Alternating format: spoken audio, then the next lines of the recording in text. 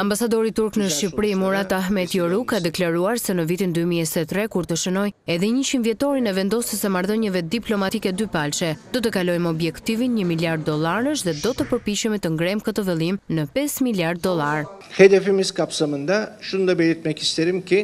Në këtë kuadër të objektivit tonë, ne faktikisht në Shqipëri jemi një nga partnerët tregtarë më të rëndësishëm, të cilët ne operojmë në Shqipëri me gjashtëqind kompanitë tona turke faktikisht dhe arrijnë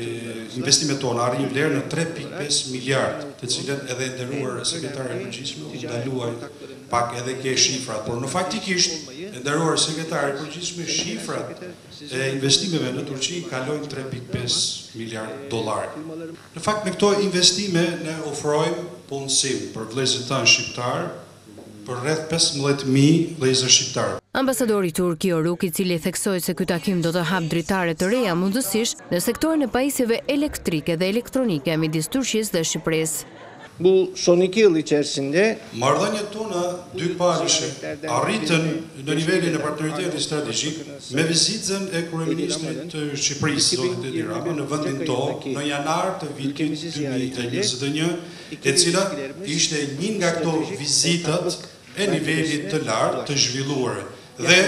Theksoi që tashmë Shqipëria është një partnere strategjike e Turqisë.